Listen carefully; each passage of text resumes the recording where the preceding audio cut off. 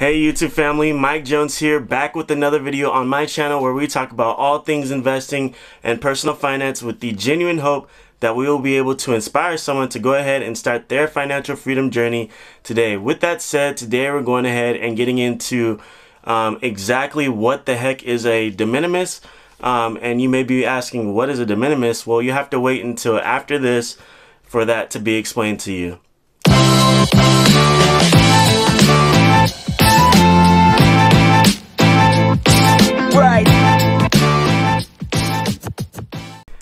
Hey YouTube family, so welcome back to my channel. Um, so as I was talking about prior, we're going to go ahead and get into what exactly is a de minimis. And to aid us with this, because I honestly didn't know what a de minimis was until about a week ago, um, we're going to use a screen recording and we're going to refer to Vanderbilt uh, University to help us with this.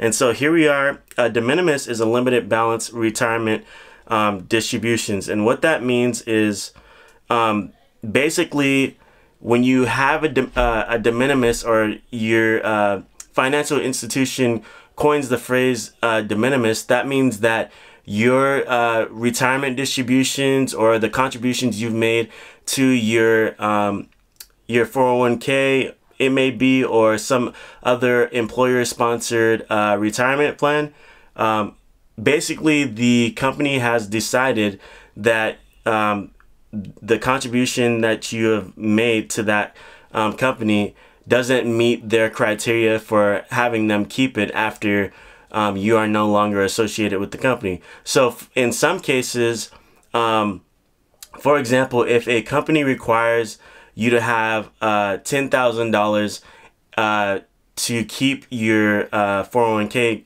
uh, going with them, um, after you um, split ways with them, if you only have $7,500 in your uh, retirement account when you part ways with them, um, and your uh, your gains don't get to that $10,000 limit, then um, about a year, maybe six months, um, it just depends on when the company actually finds out that you're still tied to the company in that way and you have a 401k or an employer sponsored plan through them that they decide to cut ties with that.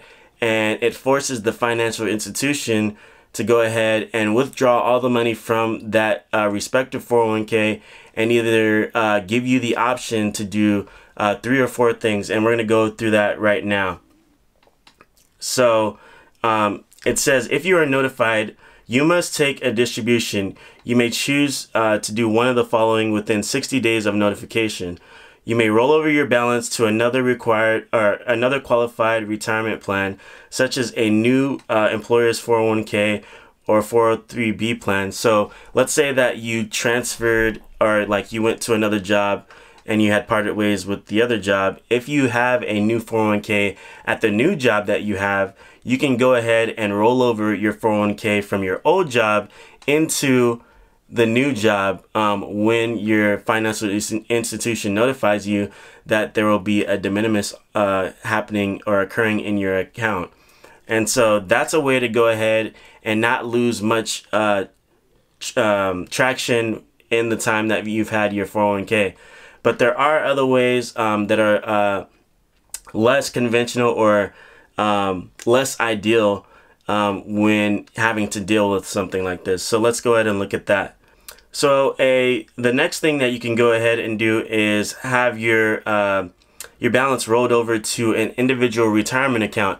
And this is one of the more feasible options um, because the third option would be to request a cash distribution. If you do not take action by the deadline listed in your notification, this option will be selected by default for you and you'll be sent a check for the balance of the account minus applicable, ta applicable taxes and penalty penalties. Now, um, this personally happened to me and that's why we're talking about it.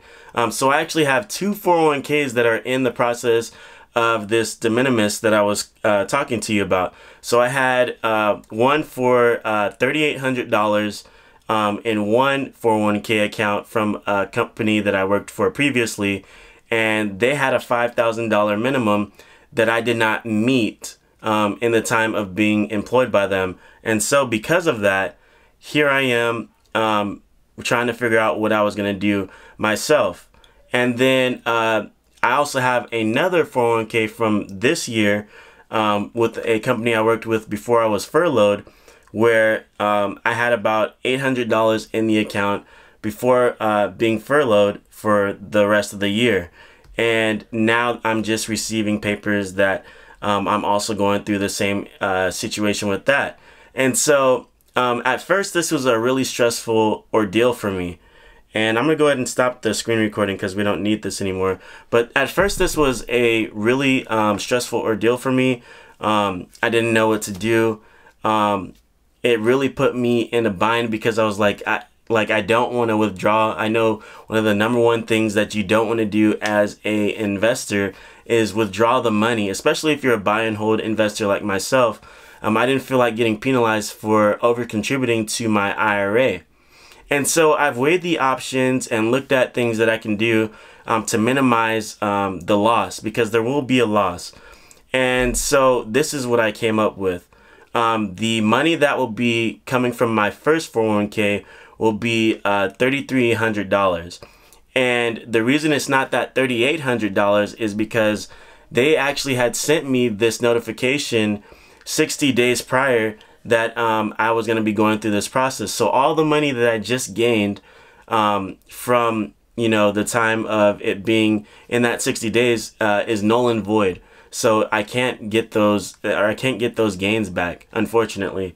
So um, I'm out $500 on on top of whatever uh, penalty that I have for uh, either over um, con- uh, over contributing to my uh, Roth IRA or uh, withdrawing altogether. And so what I've decided to do is just over contribute to my Roth IRA. Now you may be wondering why would I over contribute knowing there's a tax penalty? Well, the reason being is because if I was to withdraw any amount of money from my um, my uh, distribution that they're going to be giving me, I would uh, be held accountable for a 25% penalty um, because of my tax bracket on top of a 10% uh, early withdrawal penalty for withdrawing the money before I was 59 and a half years old. And 35% just didn't make sense to me um, versus the 6% that I'll get for um, the tax penalty of over contributing. And I would much rather take that 6% loss and then just um, shift the money over to uh, 2021 contribution um, uh, instead of you know taking a 35% loss. And so that's what I've decided to do with my um, eligible 401ks is just contribute the $4,000 to my four or to my IRA, um, which would bring me to a $7,000 contribution limit uh, contribution over the $6,000 contribution limit. So I'd get taxed on about $1,000. So 6% of $1,000 is about $60. So I'm only losing $60 um, besides that null and void $500 that I previously lost um, by not even knowing that this was happening. Um, so a much uh, better difference, and it gives me a um, a kind of a, a, a, an advantage or a foot forward um, as far as my contribution for tw uh, 2021. Um, with 2021, I'll already have $940 in my Roth IRA, which means I'll only have to worry about contributing another $5,060 uh, $5, um, for the whole year, which will be absolutely great in a time when we don't know uh, where our funds will be coming from and, you know, uh, with employment being shaky, it's really awesome to know that I'll be able to at least contribute a thousand dollars to uh, my Roth IRA in the year 2021. But with that said, I just want to thank you so much for watching this video. If you wouldn't mind going ahead and liking and uh, subscribing, that would be absolutely awesome. Make me feel like I'm doing my job right. Um, with that said, thank you so much, and I will see you in the next one. Thank you, and God bless.